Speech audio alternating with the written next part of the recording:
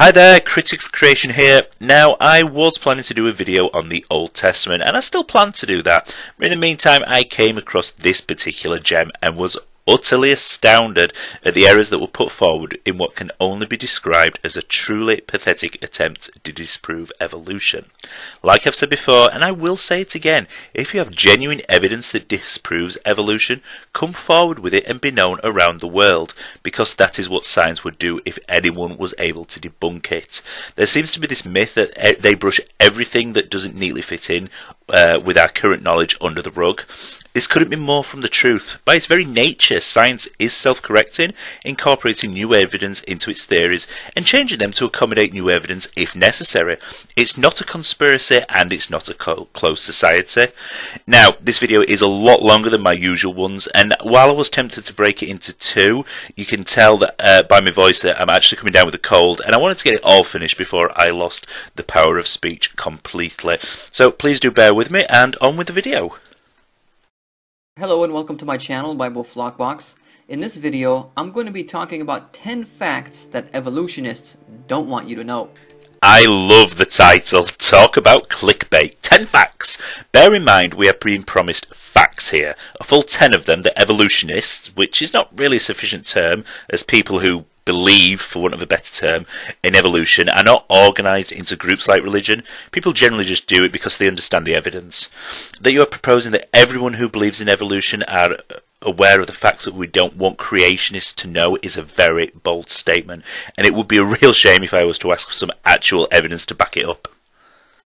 Fact number one The Big Bang Theory is one of the most ridiculously impractical theories for the origin of the universe. Wrong! Firstly, this is not a fact, it's your opinion, and while I do get the feeling I'll be saying this a lot during this video, facts are not opinions. Secondly, the Big Bang is not linked to evolution, unless you're talking about cosmological evolution, which you didn't really specify. Basically, the Big Bang Theory teaches that a large quantity of nothing decided to pack together tightly and explode outward in order to create stars and heavier elements through more solar combustions. What makes this theory so impractical is, first of all, nothing can't explode. I'm Wrong again. It wasn't nothing, at least not in the way you are referring to it as. It didn't explode, it expanded, and the way you explain this makes it sound like you believe that the universe planned this with an end result, which is certainly not the case. Look, if you don't understand the Big Bang, that's fine. It's extremely complicated, but don't try and disprove it because you don't understand it. I mean, when was the last time you blew up nothing? This should just go without saying. Next, explosions don't produce organization. They do the opposite. They cause destruction. Think about it. It's like saying you could throw a bomb into a junkyard and get a Mercedes dealership. It's impossible. Nothing annoys me more than the words, this should go without saying, because you are shutting down an argument before the other party has time to respond and debunk your fallacy. No one is suggesting that nothing exploded. You are presenting the ultimate strawman argument here. Show me an astrophysicist who says that the Big Bang was an explosion of nothing that instantly created everything, and I will show you a liar. The bomb in the junkyard is just a rewording of the old tornado building a 747 fallacy.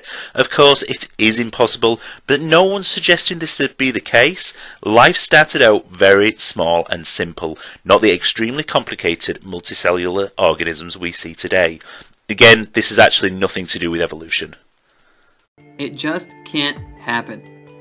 Fact number two the fossil record does not support the theory of evolution.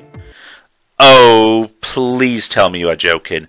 The fossil record proves beyond any reasonable doubt that evolution is true. I really hope that you have some solid evidence to back this up. Otherwise, I'm going to call you out as a liar and a charlatan. This is because no actual complete skeletal missing links have been found. Missing links are remains that prove one species have crossed over to another, like a half man, half monkey.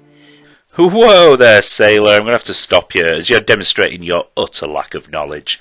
Firstly, we have skeletons, and while they may not be 100% complete, we have enough parts of them to make reasonable scientific conclusions. Ardi and Lucy both demonstrate that they walked upright, for example. It's not like we simply find a single finger and make drastic and sweeping conclusions from there. Also, this idea that one species crosses over to another is simply wrong. You make it sound like one day an ancient common ancestor just started giving birth to modern man. No, some of those common ancestors evolved into common man.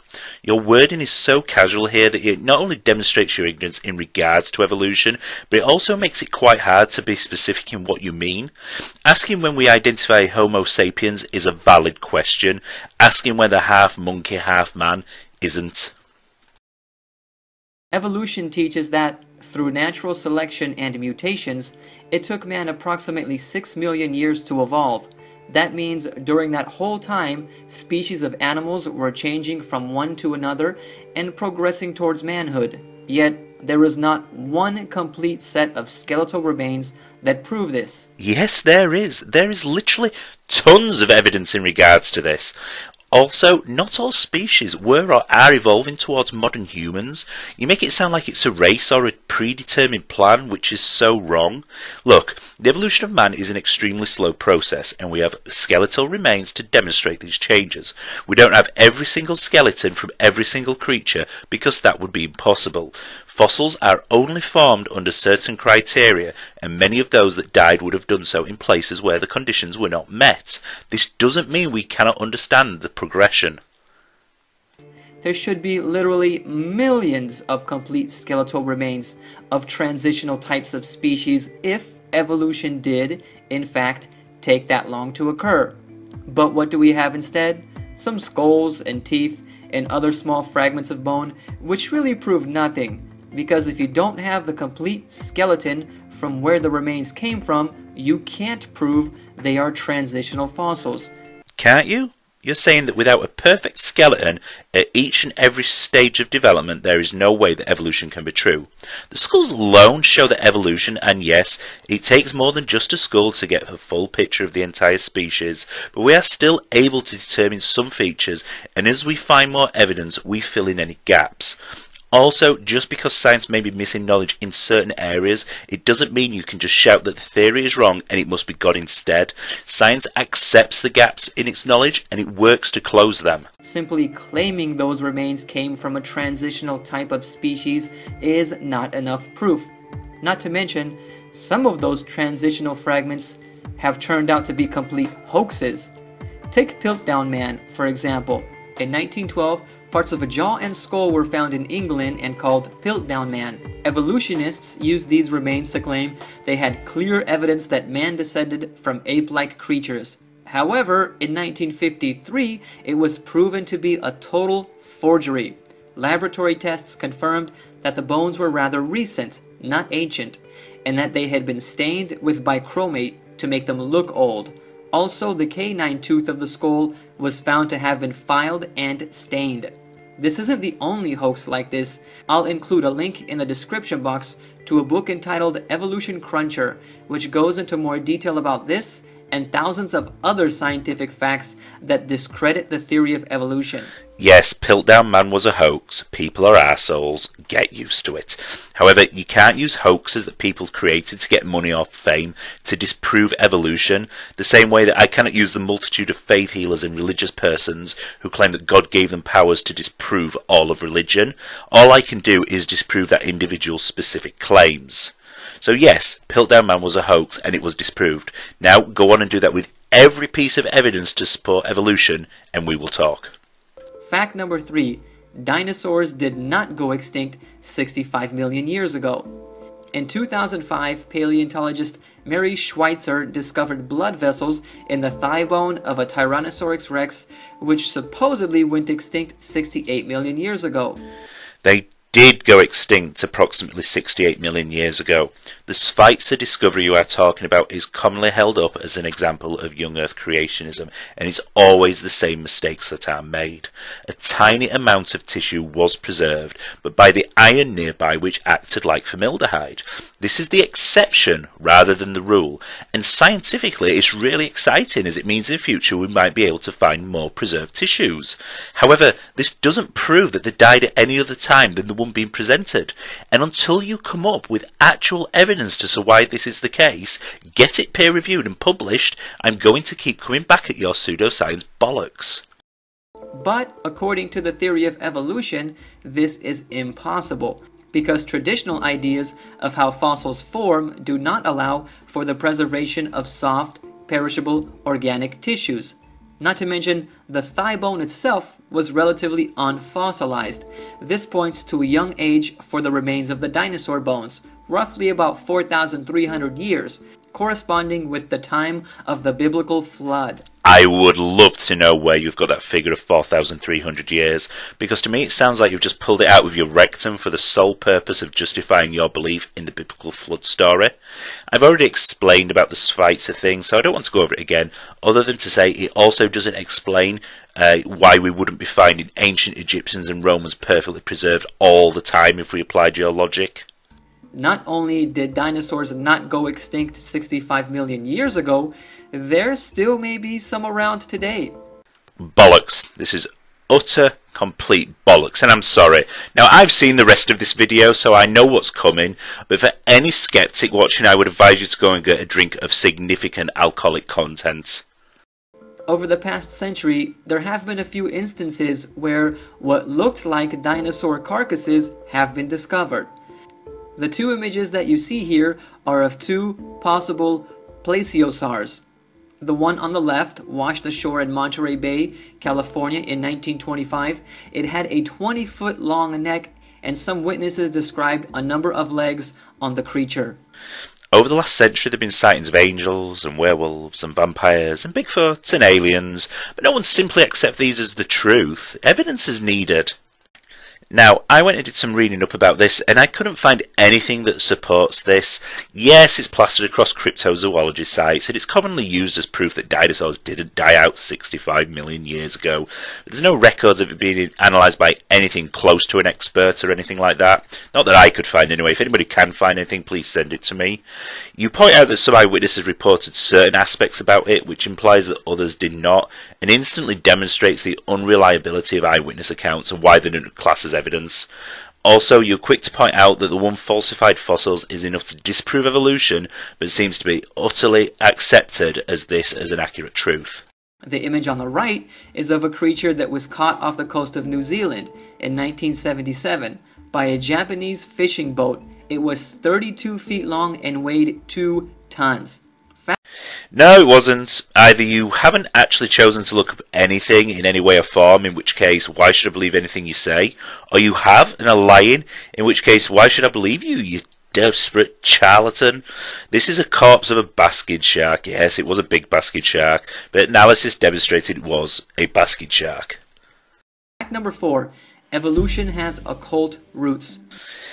Okay, I'm going to need some proof of that statement. But let's just assume that it did start out from the occult, although I'm not sure how you are connecting the two for this scenario, but let's just assume what you said is true.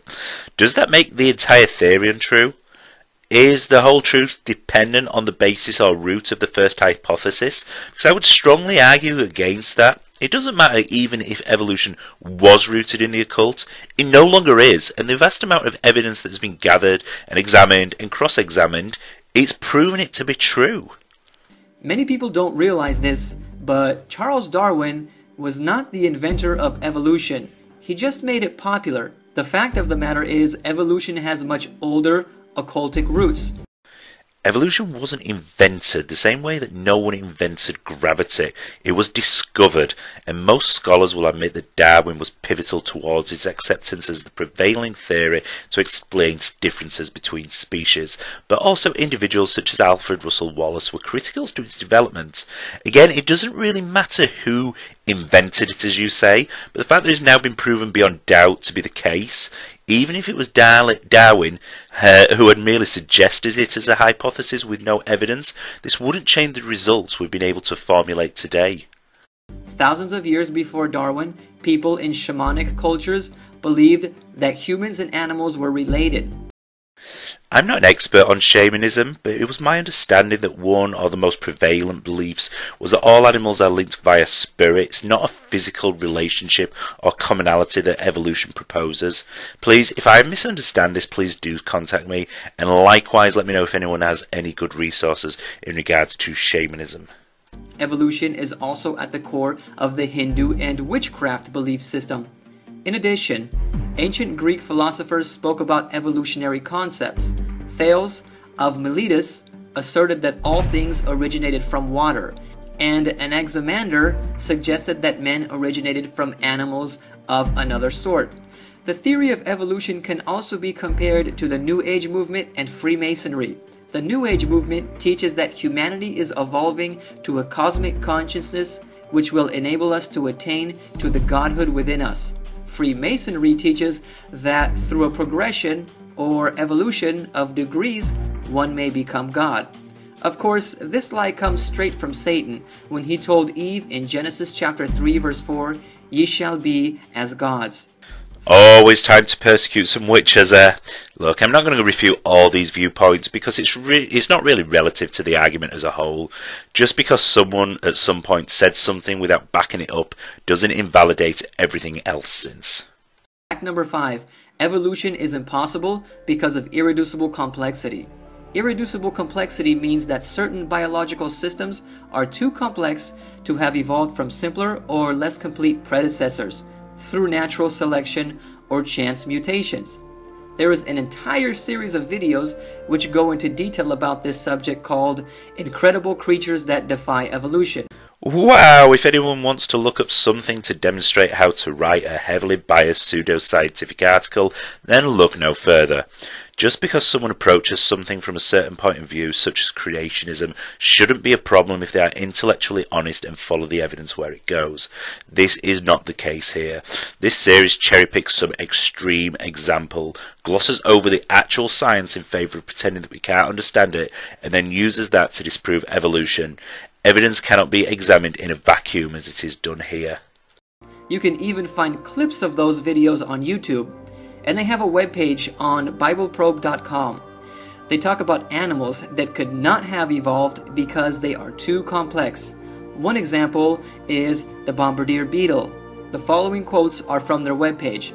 The bombardier beetle defends itself by mixing chemicals that explode, firing through twin tail tubes that can swivel like gun turrets. The bubbling liquid that shoots out at 212 degrees Fahrenheit is enough to deter most predators. The force of the round fired should be enough to blast the little beetle into orbit, if not pieces, and it would be if it was discharged at one time. Slow motion photography has revealed that the crafty beetle actually lets go with a stream of up to 1,000 little explosions. Together, they are enough to put off would be attackers while leaving the small defender with its feet still on the ground. There is simply no way the Bombardier Beetle could have evolved its sophisticated defense system over time, adding swiveling gun barrels or its repeater firing mechanism at different stages. It needed them all in one package, at the same time. A beetle that blew itself up would not be around to develop a more refined firing system.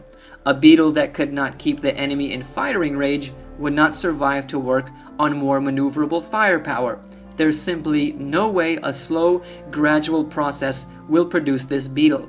This is one example of many given by incredible creatures that defy evolution. Others include the giraffe, woodpecker, and even the chicken egg.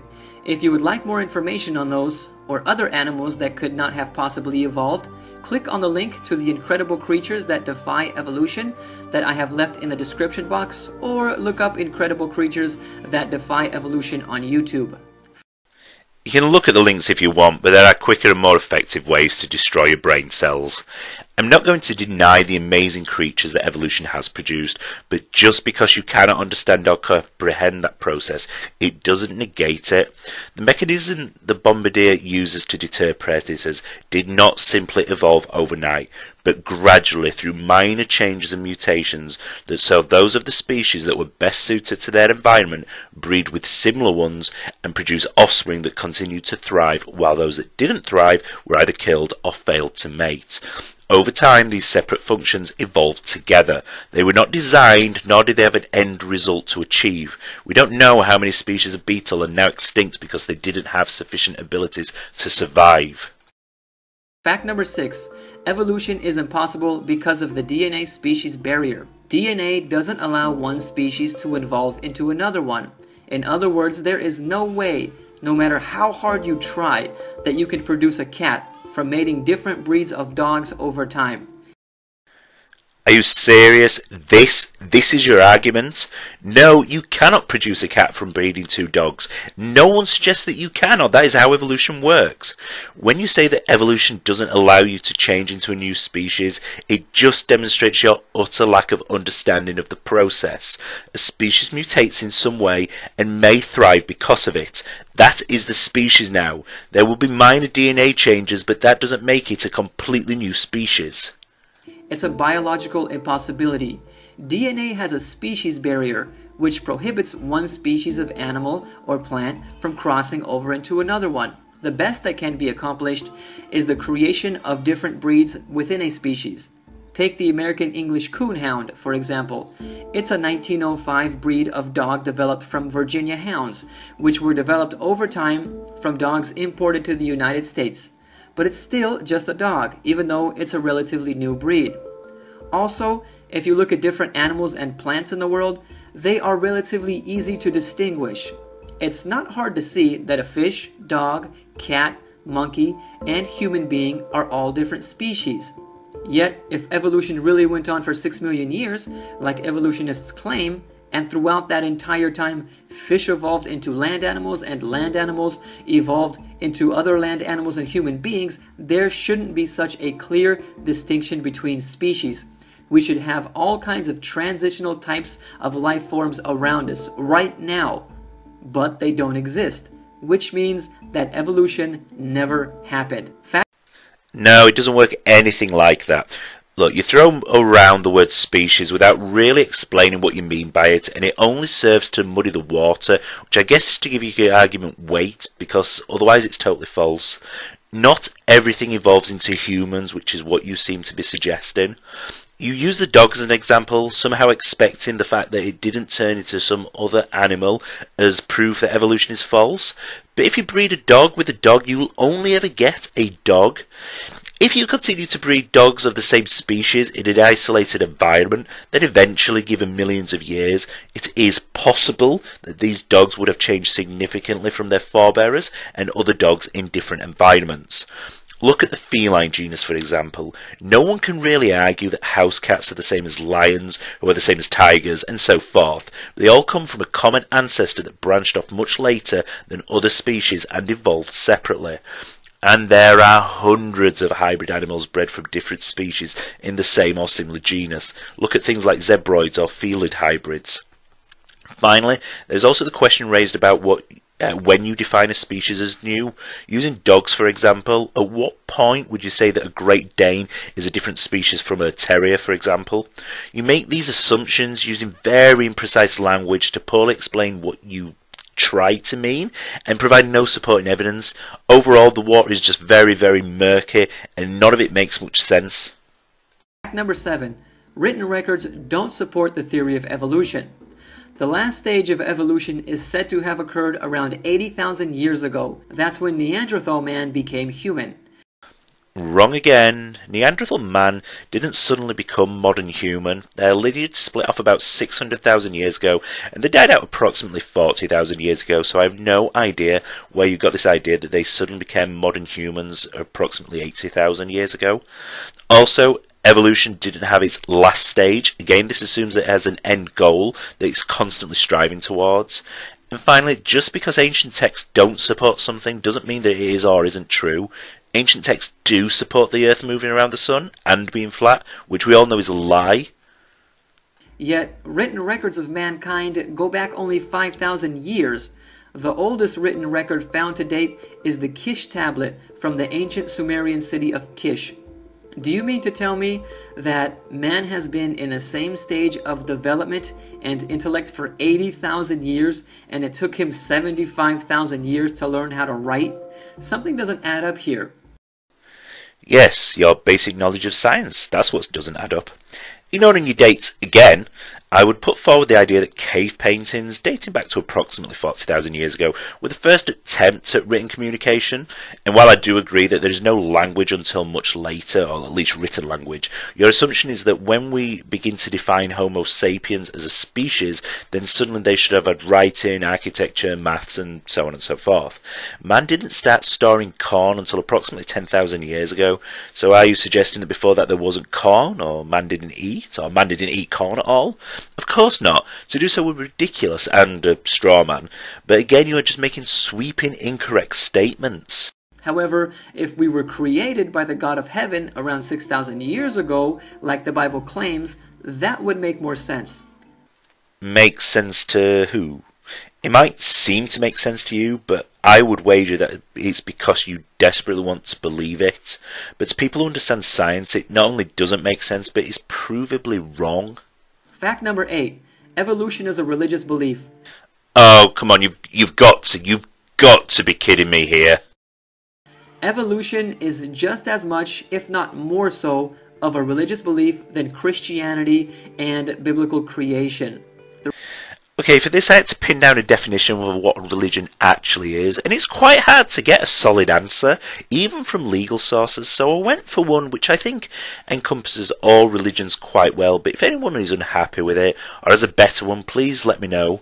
And for the sake of this example, I will stick with this one and just use the first two points, just because the video is running quite long anyway. The first point is, it needs a god or a group of gods. So evolution is not religion because it requires neither of those. And the second point is it needs an organized system of beliefs, ceremonies, and rules to worship the god or gods.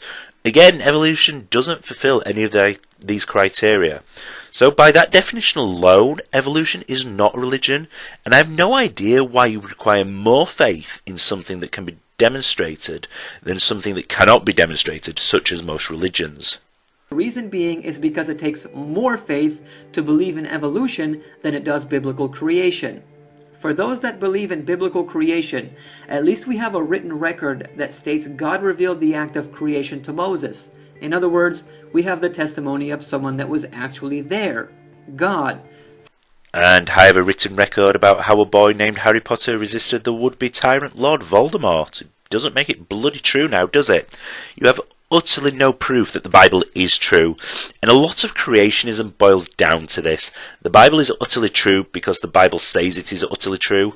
Well, people lie. There you go, and I'm pretty confident that people have always lied and probably always will lie, and your holy book is no damn different. For the theory of evolution, there was no one there to observe the origins of the universe, so it's all guesswork but we can observe its effects. Although the origins of the universe has no real implications on evolution, I'm going to point out that there are many ways you can understand something without actually witnessing it.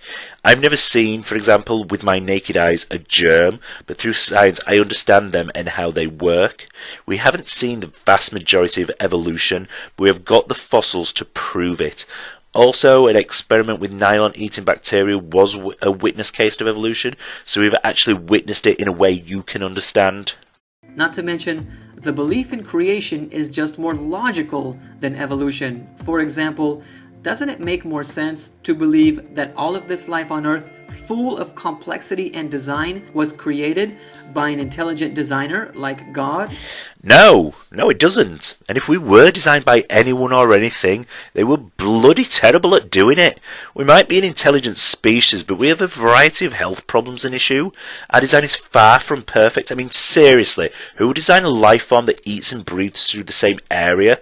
We have productive organs near our waste disposal organs, which is extremely unhygienic, and our history and path is littered with the billions of life forms who died through war, poverty, disease, and hardship.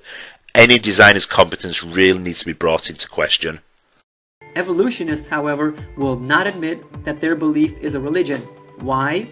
My opinion is because it would violate the First Amendment of the Constitution, which prohibits the government from supporting any one religion, and evolution is taught in public schools in the United States. Therefore, just like public schools are forbidden from leading students in prayer because prayer is a religious matter, they would also be forbidden from teaching evolution. affect. And the rest of the world just fell in line? I'm British, so why would it affect my rights under an American constitution? Besides, I've already demonstrated why it's not religion, but I suppose it's always more fun to have some overarching governmental conspiracy behind everything. Fact number 9. Evolution teaches immoral behavior.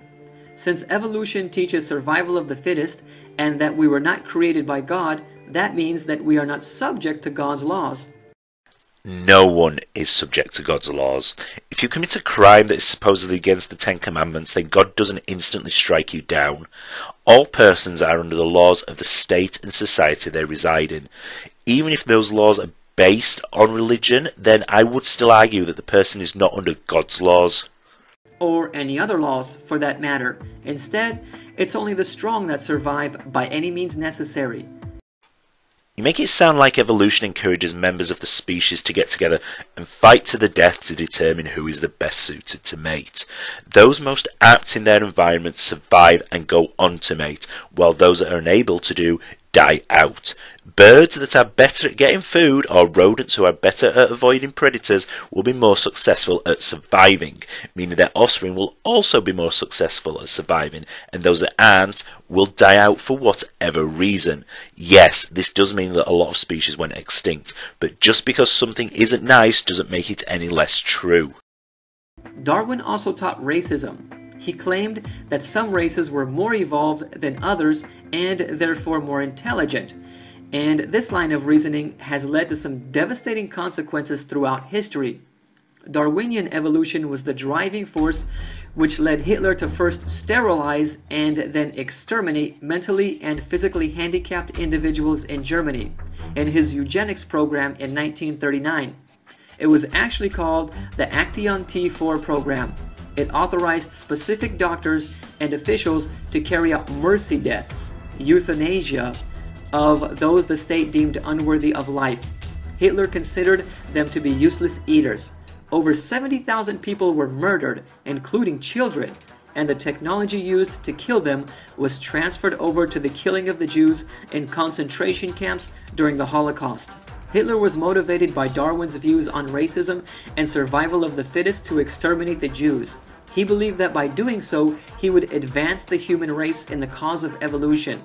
Six million Jews lost their lives, half of which died in horrifying concentration camps. That's not evolution, that's social Darwinism.